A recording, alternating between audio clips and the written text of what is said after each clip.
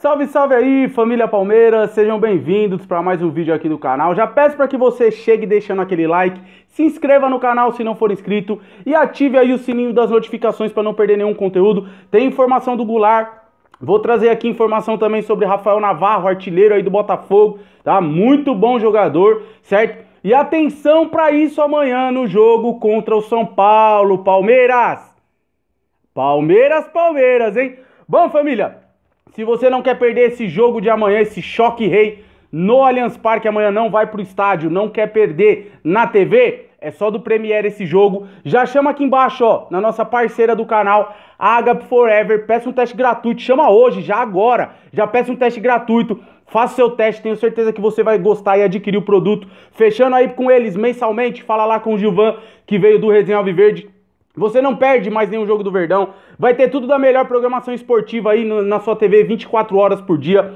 É, canais abertos, fechados, canais infantis, filmes, séries, reality shows, notícias, tudo, tudo. E o mais importante, jogos do Verdão. Então, chama aqui embaixo, tá? Nesse WhatsApp aqui, ó, que tá na descrição do vídeo. Fala com o Gilvan e mencione o Resenha Alviverde. Não perca esse jogão de amanhã. Eu ia falar logo mais, mas é amanhã, às 8h30 da noite, no Allianz Parque, beleza? Bom, rapaziada, Quero começar falando aí sobre Ricardo Goulart. Muita gente já tá falando, né? Ah, ele fez um post lá com as palmeiras de fundo e não sei o que, não sei o que. Justamente da, da outra vez ele fez a mesma coisa, né? Postou foto, atrás tinha Palmeiras, o Hulk também, isso e aquilo. Gente, eu quero falar pra vocês, tá? Não caiam nessa. Jogador é assim mesmo, cara. Jogador é assim mesmo. O Hulk colocou lá, Roger Guedes também, né? Com a roupa, tinha uns desenhos de Palmeiras. E aí? Não quer dizer nada. Tá? Eu gostaria de ver o Ricardo Goulart no Palmeiras? Sim, gostaria. Mas por enquanto não tem nada. Já vi aí muita gente falando que essa semana vai ter reunião pelo Ricardo, é, com o Ricardo Goulart, com o staff, né, para ver é, o que, que vai ser decidido aí para a próxima temporada, quanto que ele quer receber, isso e aquilo. A informação que eu tenho é que não terá reunião, tá? Pelo Ricardo Goulart essa semana. O Palmeiras está focado para esse jogo contra o São Paulo e também Rafael Veiga falou ontem né? Rafael Veiga falou ontem no, no programa Bem Amigos que eles estão focados aí né, em fazer boas partidas no Campeonato Brasileiro para chegar forte nessa final da Libertadores, que é o que realmente importa. Então, qualquer tipo de negociação, a gente já falou aqui, né? É, reunião, negociação de fato, tá? Só após a Libertadores. Eu quero o Ricardo Goulart no Palmeiras? Sim, acho que deitaria, jogaria fácil, mas por enquanto ainda não tem nada entre Palmeiras e Ricardo Goulart, beleza? Bom, e ó, atenção para isso, hein, Sociedade Esportiva Palmeiras? O São Paulo está dois pontos da zona do rebaixamento, acho que dois pontos do Juventude ali, então não podemos pensar em outra coisa amanhã que não seja vitória. Abel, coloca na cabeça aí dos caras que tem que amassar os caras amanhã, certo? Ah, o Palmeiras tá com muito desfalque, é, o Felipe Melo não joga, o Dudu não joga, o Davidson, se bem que eu acho que o Davidson é um reforço aí pra nós, né? Mas não importa.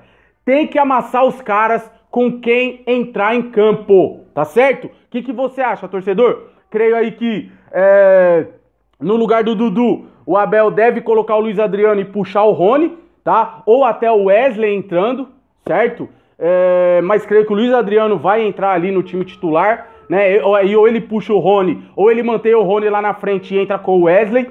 Vamos aguardar. E no lugar do Felipe Melo, acho que não tem muitas dúvidas ali. Acho que ele vai colocar o Danilo, tá, torcedor? Quem que você colocaria no lugar, nos lugares de Felipe Melo e de Dudu pro Choque Rei de amanhã? E amanhã vai estar tá cheio, hein, o Allianz Parque. Os ingressos aí acho que baixaram 10 reais, né?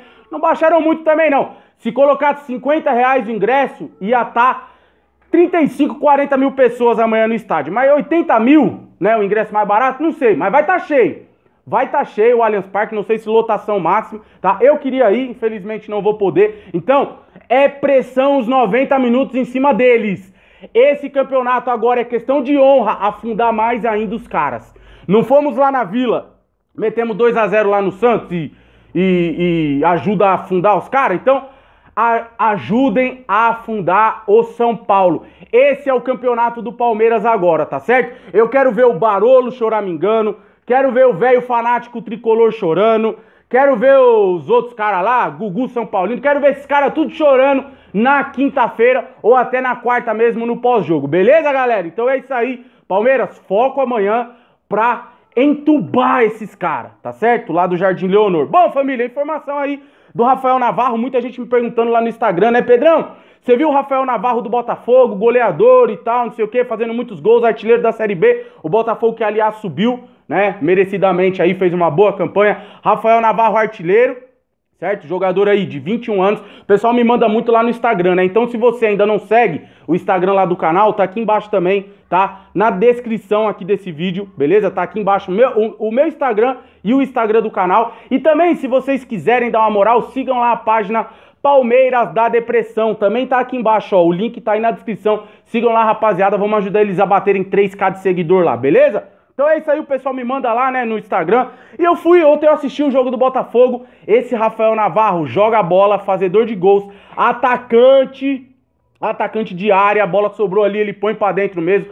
Botafogo ganhou de virada do Operário e subiu merecidamente para a Série A. E aí o pessoal me falou do Rafael Navarro, eu fui ver, ele tem 1,85m, bom de bola aérea, né? Bom ali na, Cara, a bola sobrou ali dentro da área, o cara é fazedor de gols mesmo. Tem 14 gols na Série B, o artilheiro da Série B, artilheiro aí do Botafogo. O pessoal falou, Pedrão, será que esse jogador caberia no Palmeiras? Eu fui ver e tal. Caberia, 21 anos, promissor, caberia. Mas será que é pra gente sair contratando promessa? Será que é pra gente é, investir num jogador desse?